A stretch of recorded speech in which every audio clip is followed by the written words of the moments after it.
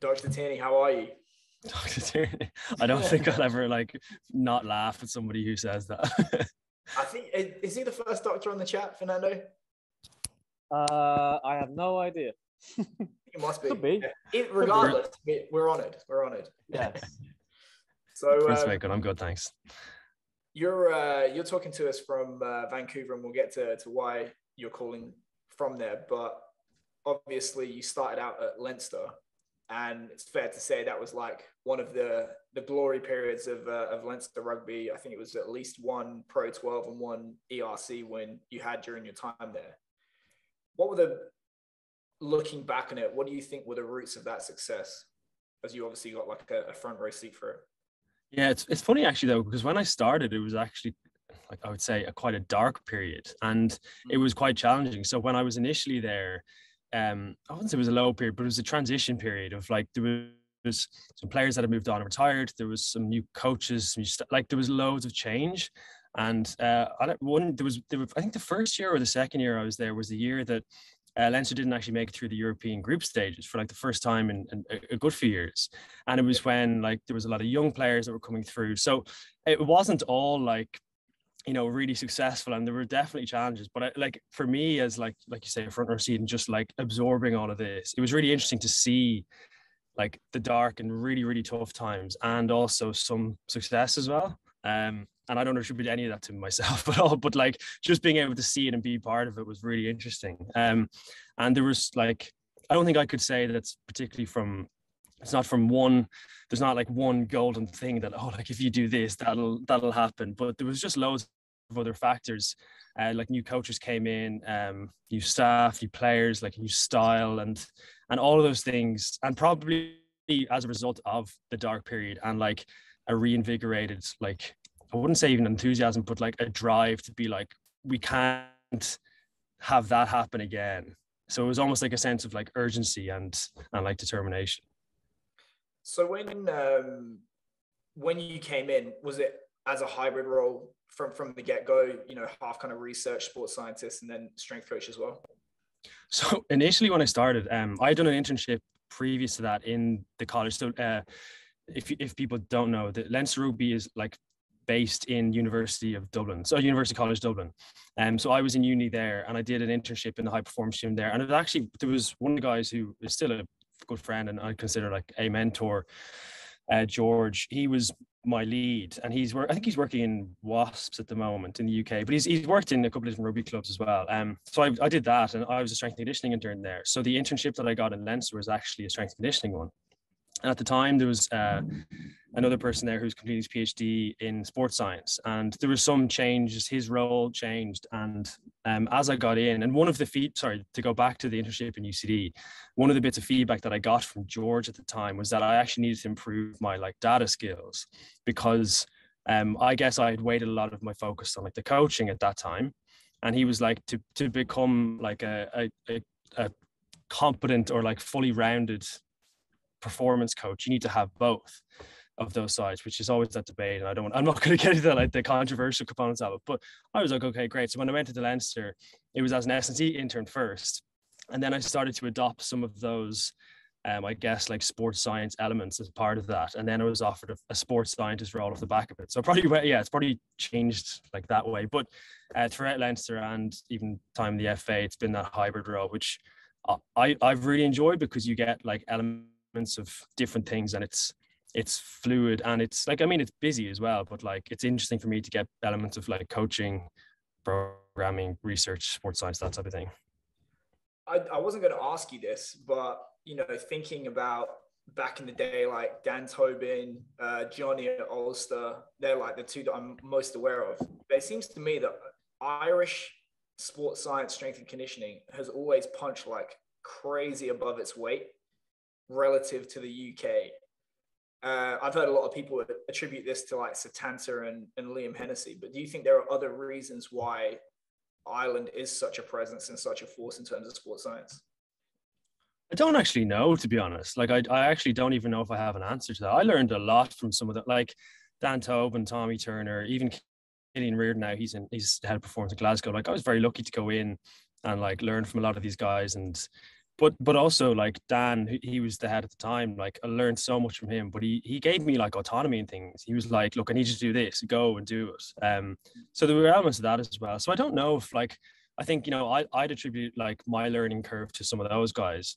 I'm sure they attributed to people who were there and and sort of mentored them. So I don't know if it's like yeah, there were there were probably loads of names like you mentioned Liam Hennessy. Like there's always like Des Ryan who was prolific in Ireland, and he actually moved, he had moved to England when I think just when I started, or maybe just before I'd started. So there's probably all those those people involved, but I, I don't know. Maybe it's because there's like there's there's probably less opportunity in Ireland. Um, so sometimes people get experience in like some of the like football or soccer teams. I have to say soccer now because I'm uh, on the Americas um, mm-hmm. soccer. Um, like there's there's obviously the four provinces there's like obviously other opportunities but there's so many opportunities in the uk so and obviously abroad as well so maybe i don't know by limiting opportunity in ireland you have to sort of branch out and experience different things and maybe that contributes but i actually i don't think i have an answer for that hmm. it's interesting um so i mean we, we talked a little bit about this hybrid role that you had that you kind of evolved into. That's really the thing that jumps off the page to me about your research is that you're not just interested in like myopic physical questions. You're actually trying to like combine the understanding of say like the tactical and the technical stuff as well as the physical. Was that so for example you know what is what are the physical differences between a successful entry into the 22 and an unsuccessful one um is that was that a conscious decision or you just kind of like evolve into that by just asking yourself different questions? It was probably like the i was lucky that so i did a research master's like whilst i was working in leinster and like i think a lot of those um like embedded like i guess masters or phds or research whatever um i guess like title or or course you want to do whilst you're in a a full-time role. Like it's, it's it's busy of course but i think it's the best way to do it because you're answering or trying to answer actual questions. And the questions aren't probably don't stem from me. They actually probably stem from at the time it was dan tobin but also like the head coach and, and the coaching team. And you know at the time we had like a certain call for when we got into the 22 and it was just to like okay we're in the 22 now. We need to like ramp things up. And as part of that we started look the coaches were looking back with dan at some of those entries and wondering like is there anything and the question was is there any like physical um, like attribute or contribution that actually influences this the outcome of it? Now so that that one of those that paper that we did sort of tried to differentiate that. Now, I'll say this here because we said it in the paper, we've always discussed it. It's never like you don't, you're not successful in the 22 in rugby because of physical, but it certainly contributes alongside all the other things. When I want people saying like, oh, uh, Peter Tierney said like, oh, if you run quicker, you're going to score yeah. tries, which doesn't always work like that. But even the discussion we had off the back of it, we found in some of the successful ones, our forwards had a higher like high speed running intensity. And our and but on the flip of that, when our backs at a higher running intensity, we were less successful. So we were like, that's kind of like, why is that? So we went back to the coaches with it. said, okay, we've tried to answer this, but like this is what we've seen. Like, what do you attribute this to? And they actually attributed to when, like, when we moved the ball or our backs moved the ball too wide or too fast. Um, it actually resulted in our backs having to resource rucks and it took our forwards like our forwards couldn't get into position quickly so there's a few elements like that that um, really helped inform like I guess the research we did, but also like we asked the question back to them, and it, it, that was sort of the way we approached a lot of the research, in my opinion, anyway. Yeah, it's always interesting like that that kind of like chicken and egg thing. Like, is is it that mass drives uh, distance covered in a game, or is it the distance covered in a game by the nature of your position that tends to push mass up as a result, like all that kind yeah. of stuff? Yeah, and and even like what we did, we did a video collision or like analysis of that, and we found that when our forwards were involved in more collisions, um, that tended to be in those successful entries. So again, it was like I guess it is like a tactical thing as well. Like, does that help inform how we play when we get into the twenty-two? But that that also is is quite um, like squad specific. So based off of the coaching team, the tactics, and the players we had at that time, that was the differentiation. Mm-hmm. If you try to apply that now in Leinster, I, I, don't know, I'm not there, but like it might be very different because of the style and the players and the squad that are there. So it's yeah, it's, it's hard to like copy and paste all those things, but I think that like type of analysis is interesting. Uh, along the um, lines of that, is that paper you had between like the metrics on its own and like the difference between high speed running meters and, and efforts. Mm-hmm. So it, it's funny how I mean we try as an attempt because you know the research really never stops. But when you're trying to predict and explain or, or in retrospective link the data to the performance, and I remember having the conversation with players, and I'll be like, if we can get the most of our decision making, our scoring running the least, then we're gold. Uh, we're probably not going to make the right decision every single time, but being fitter, covering such, such, and such, like like Kit would say, uh, it's simple, it's not easy. Then will give us, you know, that um, virtuous cycle in which you know least expenditure, we're more efficient, we'll make better decisions, and you know we we're not you don't want to go to the limit to get what you want really, but you want to be ready to go as far as you have to go to get where you want to go. That, yeah, that's that, I worded that weirdly, but you know what I mean, like. No, that exact. We've discussed that before, and uh, I think that was part of my master. I don't think we ever published. I might have shared it out before, but you guys would probably make a better graphic than I will. But like when we plotted like a quadrant of like say distance covered or like GPS involvements or GPS efforts versus like rugby involvement, so carries, tackles, rucks, passes. Um, the assumption in most quadrants is, oh yeah, top right is best. So really high GPS like involvement, really high rugby involvement, but it could be, and there's no like right answer, but it could be like you say that like you want really high rugby involvement, but actually really low GPS output. So you're getting through more tactical work with less physical cost. And that was some of the discussions we had. There was one at the time when I was in Leinster, there was one um, back row player who was really smart. He's really fit as well. Like so, he, he did a lot in training, and he and he was very aerobically fit. But in games, his physical output would be lower than the other back rows. But his rugby involvement was just as high, if not higher. So that's probably the case that you're speaking about there, where Dude, that's watched, maybe the I ideal. watched a Japanese head coach try and drop Michael Leitch for a 21 year old because the 21 year old had higher HSR in a game. Yeah. yeah. well, so, yeah, I mean, I wouldn't go that near to data because, like you said, it was just at the end of the day what what happened on the pitch. If I were to pick one of our better games, say like having you know a man down against South Africa for finals, did we run more because we had a man down? No, because the team had more composure, so they you know they would run the clock, they would ask for scrums, they would kick to touch, and maybe we were ready to run more than we needed being a man down, but we didn't want to. It was the smart thing to do was not to run more. It was to make better like decisions and the good shortcuts, not in the bad sense of like, you know, we're skipping corners, but we need to, you know, really uh, use our time in a, in a smart way. And uh, what you might get from at least for seven, is a very short period of time, so there wouldn't be much difference. But either the games we get trashed or the games we trash people uh, are the ones we run more, but not necessarily our best play, you know, because in defense, someone makes a break and then suddenly in a bad decision, two defenders running backwards. None of us, none of them make the tackle, but they still have the high meet. So he worked really hard, but we lost. yeah, definitely. Were there any, you know, traditional like paradigms or or cliches that you actually found to be incorrect with your with your research into you know measuring demands of sport, game performances, stuff like that? Um, I don't know if it's cliche, but like the, you see a lot in like the commentary, and it is true in one sense that like international rugby is more intense, or it's like the mm. highest intensity of rugby that you can get when you compare it to like uh, a Pro 14 or, or like kind of a domestic league, yeah. um, and the same. So you you assume that like a British and Irish Cup, so or, or, like that type of league, or like we had also like an A, like an academy type of league. Mm that's the lowest intensity. And then you have like Pro 14 or Domestic League, Champions Cup, a European Cup, and then international, and whatever the equivalents would be for Southern Hemisphere as well. Um, but people, I think, when they say that, they speak of intensity as like distance or speed, so like meters per minute or high speed running, because they're maybe the oldest metrics or the most commonly discussed. Yeah. But we found the inverse of that in that as competition level increased, meters per minute and high speed running actually, I'm generalizing here, decreased. And um, inst- and what we found uh, was that collision intensity, so the number and the load from collisions increased, mm-hmm. um, as did like the efforts basically. So in it, how I summarize this or try to summarize this really quickly is that in international rugby or higher level, higher competition level rugby, you have less space, but you're still required to do the efforts within that space. Yeah. And that's probably that was linked to that sort of density piece, um, Fernando, that you spoke about, like that we did. That was like efforts over high speed running.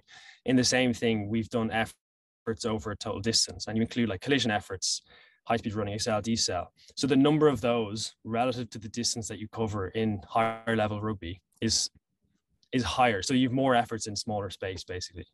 I've, I've heard that about uh, with England, like Eddie Jones basically threw through the the kind of like volume metrics out of the window, including HSR for the reasons that you talked about.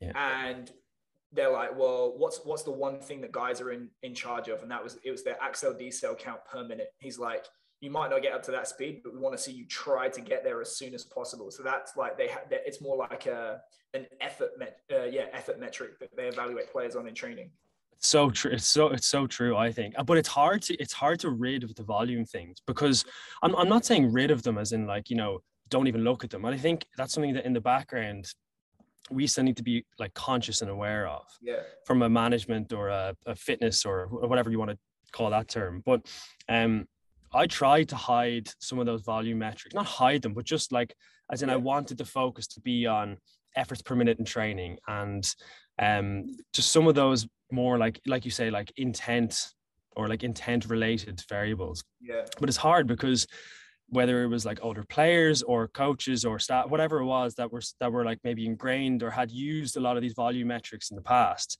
it's it that's that's definitely one of the challenges because when you discover not discover when you like discuss something not novel but like say what we're talking about here if this was like five years ago and nobody else has really researched or talked about it it's hard to shift some people who are like, no, we've used this or this this is what I'm used to seeing.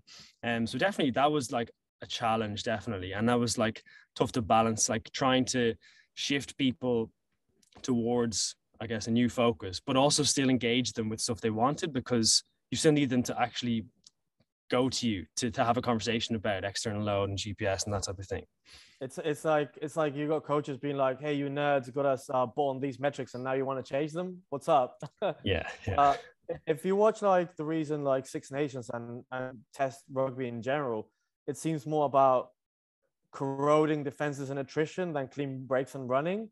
It's just that the ability of keeping the intensity and the the number of contacts and so much violence in such little space. I don't know if the uh, defenses got better, the guys are bigger, or all of the above, but it, you know, uh, running volumes wouldn't be that much related to success unless, you know, in the top 10 at least, I wouldn't see that many breaks, wouldn't wouldn't we? Like the top speed stuff, you still need it, but I don't think it would be like descriptive of game outcome.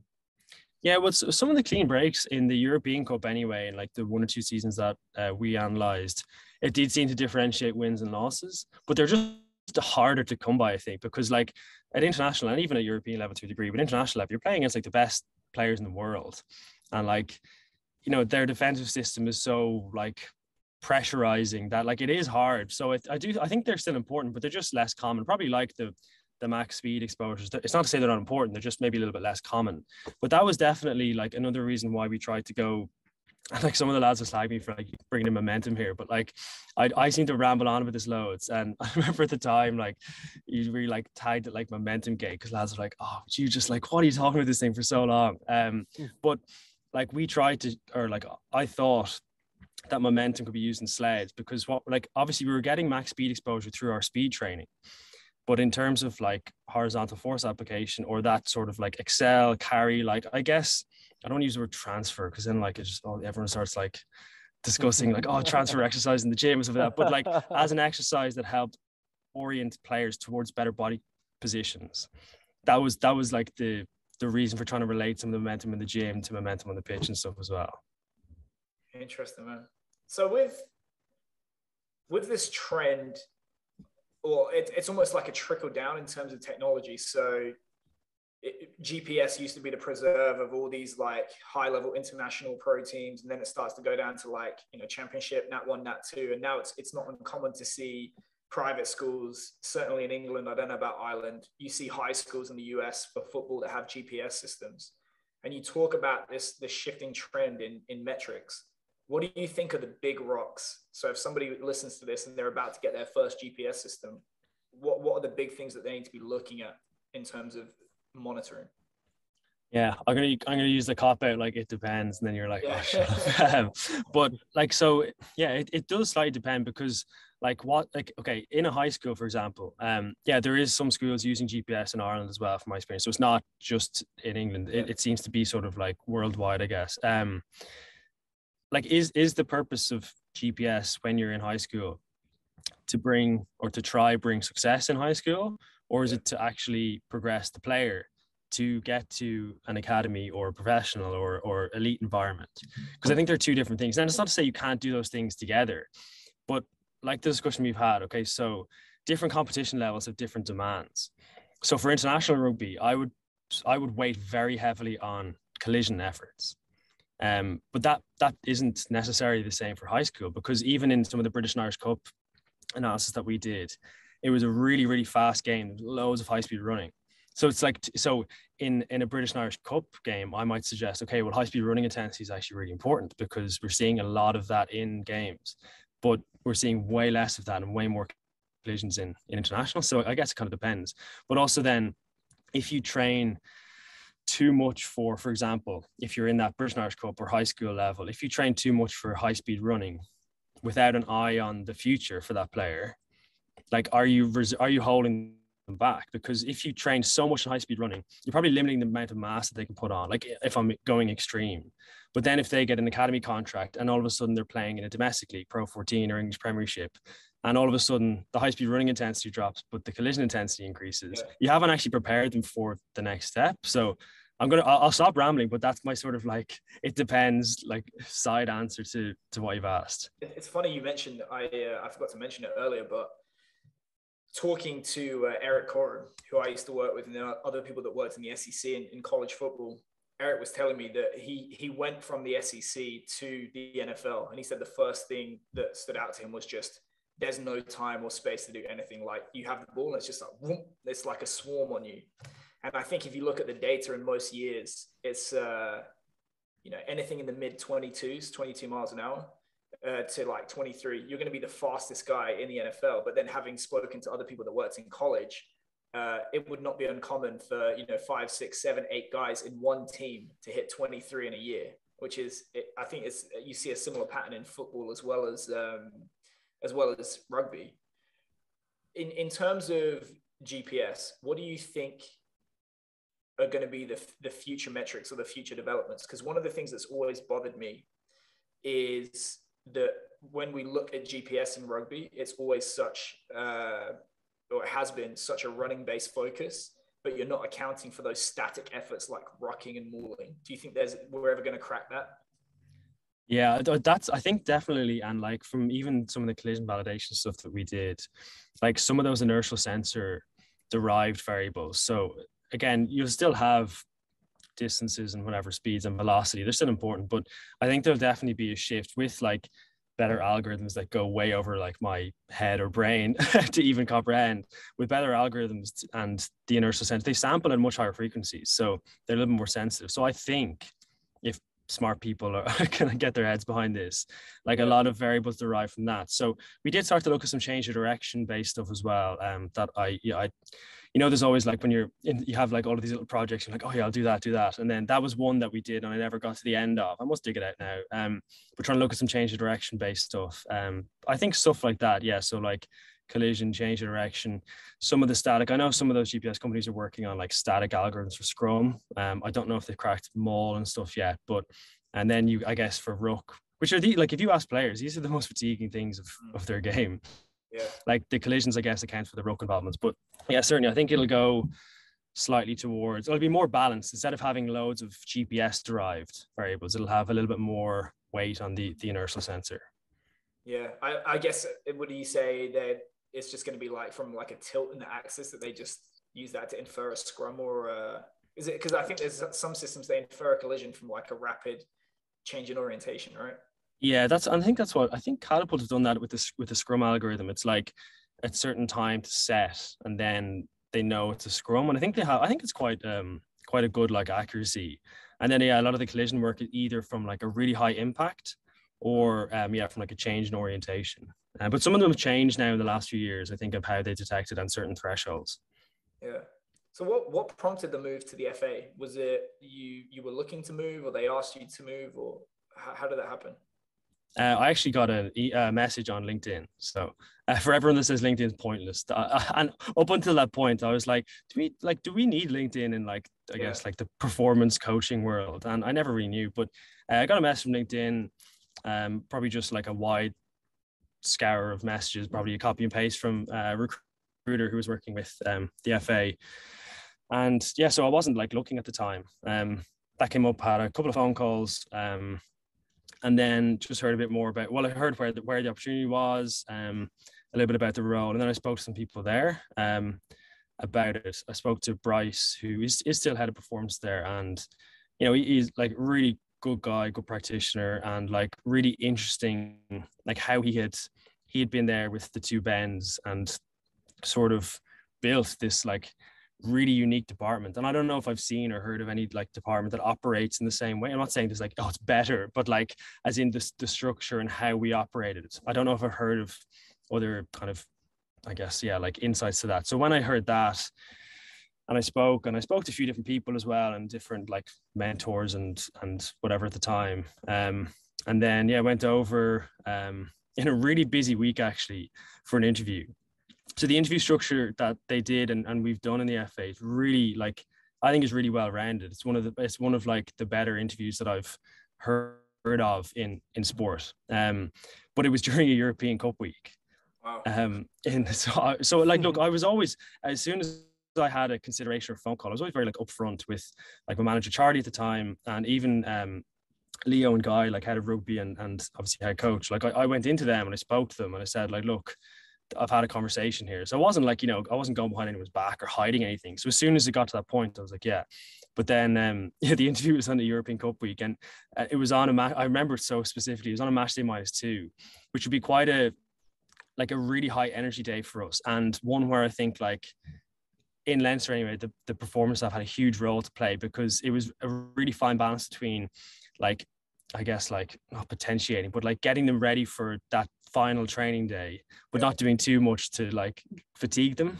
Mm. So anyway, it was that day and flew over and ended up yeah getting offered I think like the week later. Um, so it just uh, like it seemed really different. Like yeah, like the department seemed amazing, like really diverse backgrounds.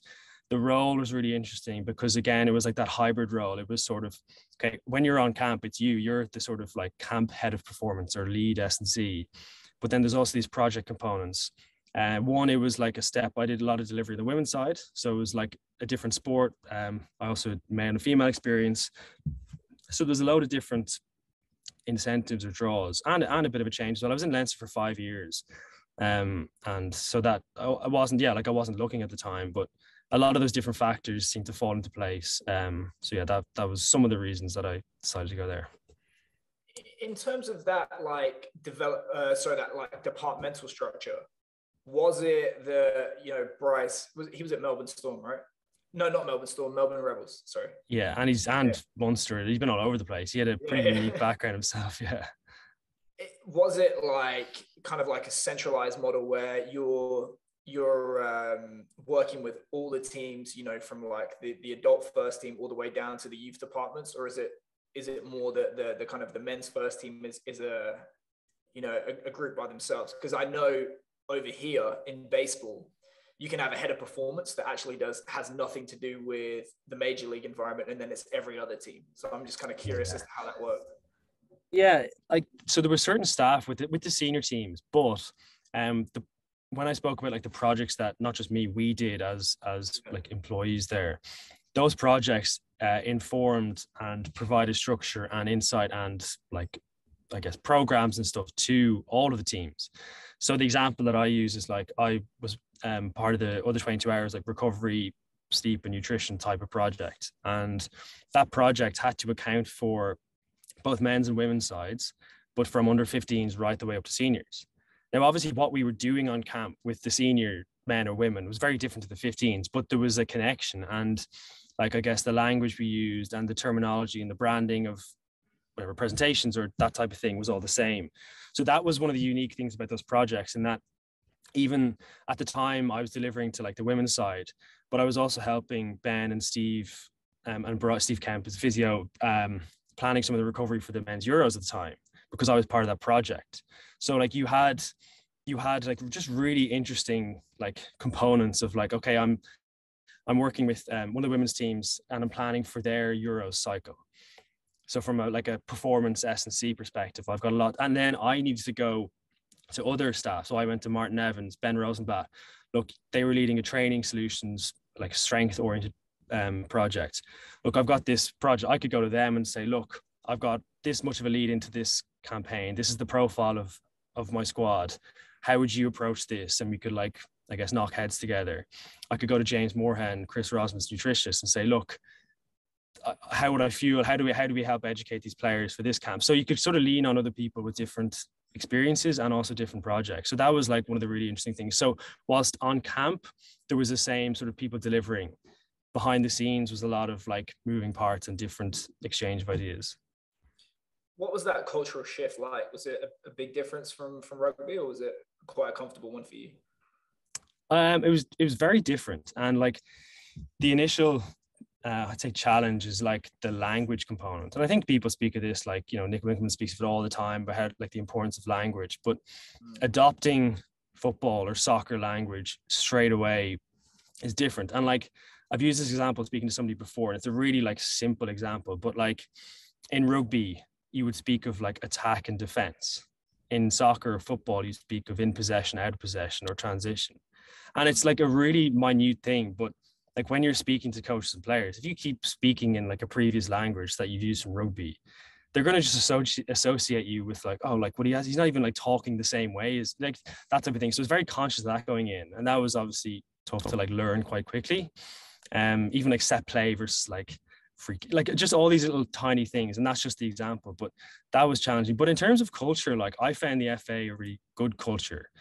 Um, but and I won people ask me that like football question a bit. Um, but like again, I guess my experience is different because it's like the international environment is different anyway. Um, and also from a department perspective, what I guess I, I say what Bryce has created, and he'll be like, no, it wasn't just him, but like I attribute a lot of what he created is is like he was the lead of the department. Like was we had such a diverse group of people and stuff. It was like every time we got together, it was such a learning experience and it was so interesting. Um, so I would have said our department culture was brilliant. There was like a lot of responsibility and accountability, but also a lot of autonomy in how you approach that. Um, so like, yeah, there was some really, really good things about about working with that crew. And, and look, I still stay in touch with a lot of those guys and girls and, and consider them good friends as well. So also it's got to help that uh, you get to, to work in a place like St George's Park. You know, I, I, spent two weeks there during the Rugby World Cup, and it was absolutely nuts to see the yeah. uh, money they put into that place. Oh, it's incredible. Although two weeks is maybe the longest you do in one go. You need to get out there as well. Um, if you do if you do a camp there for a while. So we actually again like and probably goes back to the what I just mentioned around like the autonomy or or um that type of work. Like we were our department even before COVID operated typically on a structure that we'd be in St George's Park a couple of days a week and then we could work from home a couple of days a week. Now part of that was one the flexibility, but a lot of people in in like the department that I was in lived like all over the UK. Yeah. Um, so you'd go there for a couple of days and then go. But also because we were on camps, like I did camps across the UK, Loughborough up north. Um, we've been in Manchester's department. I was also in Bosnia, Ireland, uh, Florida for camps. So like you do periods away as well. So not everything is in St George's Park. Most of the senior men and women's training is in St George's Park, um, but a lot of the underage teams um, or youth teams could train anywhere in the UK or anywhere in the world as well. Interesting. So what what prompted the move to uh, Lululemon? Yeah, so another another one. I feel like I'm just reading myself, trying to discover things. Um, it was again like, and I know we spoke with this kind of earlier on, but for everybody else, um, it was yeah, I was in the, the FA two years, and I just felt like it was like time for like a new sort of like challenge and it was, there was a few like restructures that were going to happen like this season and i was like oh like you know i was brought in for like a very like specific kind of role and some of that it was going to change um and then i just sort of i i guess like i don't say like that's the reason i was like oh that's the reason i came to Lululemon because i had conversations with a lot of different like sporting teams and stuff and i guess like it prompted me to maybe like take my head out of the water and look around and see what was maybe there for me and it mightn't have it mightn't have been for a year or two but um yeah, I had a few conversations with uh, different sports teams. Some were really good, some were really interesting. And then like I guess I've had I've like always had an interest. Like my degree was health and performance science, so it wasn't just sports science or, or strength conditioning.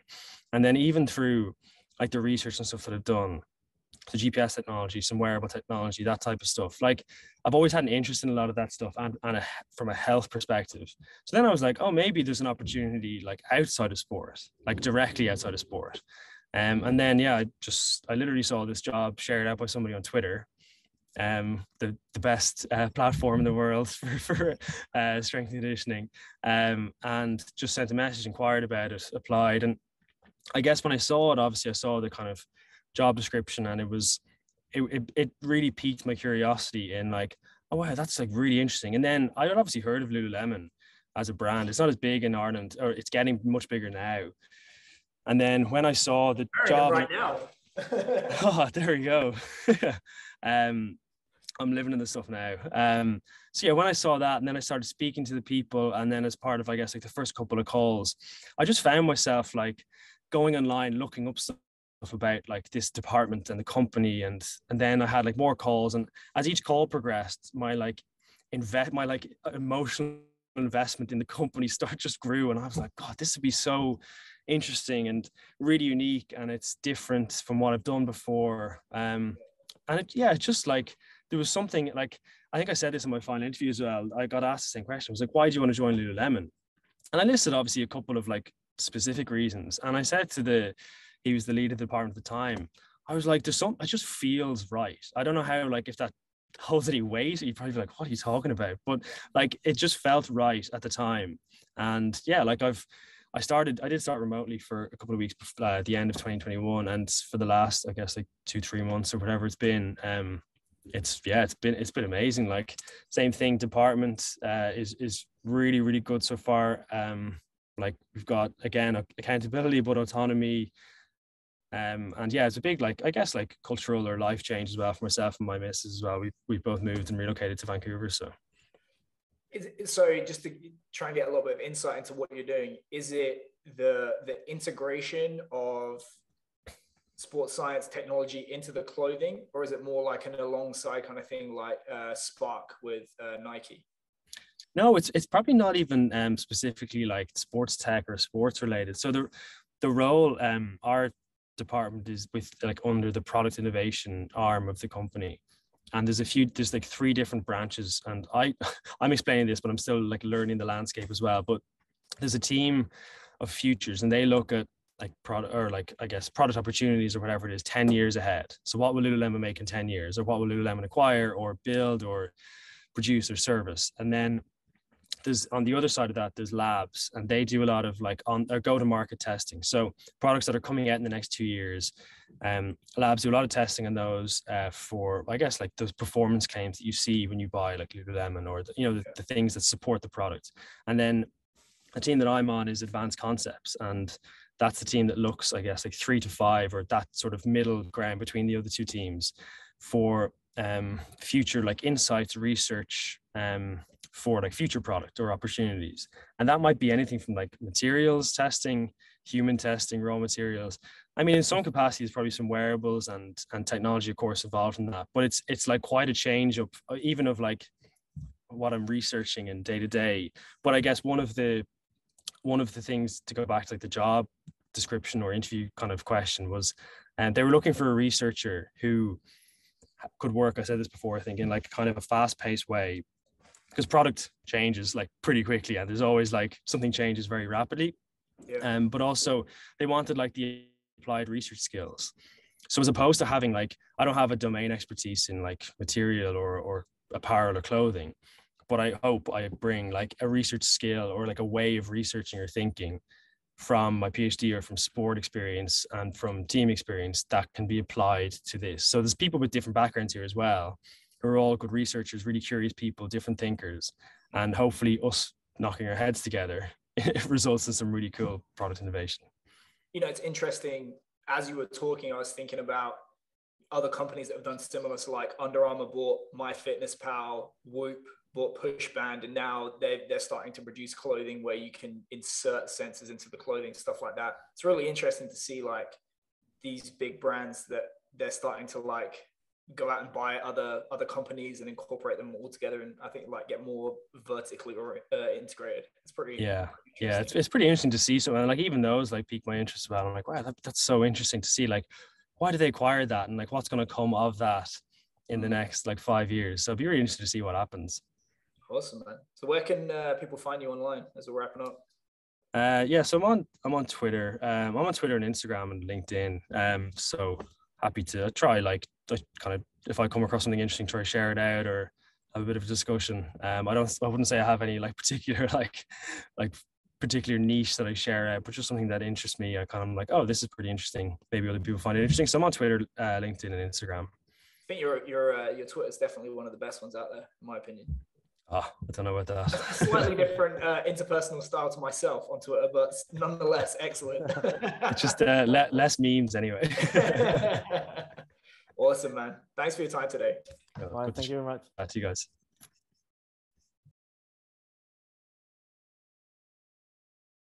Congratulations on making it to the end of the video. Why don't you celebrate by watching more videos just like it? You can also help us on our quest to placate the algorithm gods by liking, sharing, subscribing, and commenting. Thank you.